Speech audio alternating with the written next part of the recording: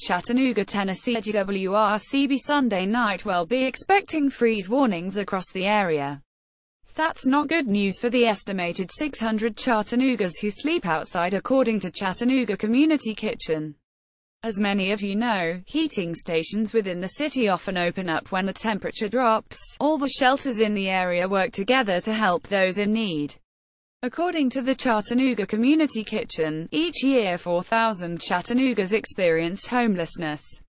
The Salvation Army overnight shelter typically opens when temperatures are 32 degrees or below.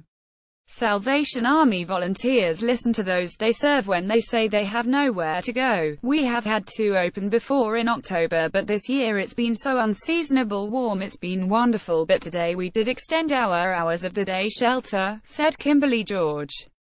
We had worship this morning then fed a warm meal then stayed open until folks could start getting into the normal shelters. With the help of a local organization they now have new cots for the shelter that will hold 50 to 80 people. The Salvation Army is already seeing a need for clothes for the homeless population more specifically for the males. We haven't had the need for hats, and gloves, and scarves. I don't know about you but I had to dig my coat out of the closet we just haven't had to use them, said Kimberly George. So folks just haven't been thinking along those lines as far as donations.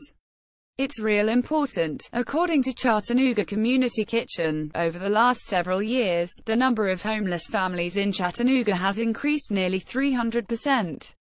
The 2017 count found that 584 people were homeless in our area.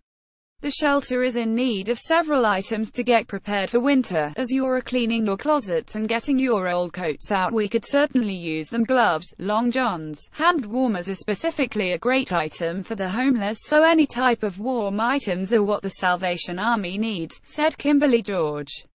So far, the shelter has extended its daytime hours today. However, they have not yet announced opening through the night.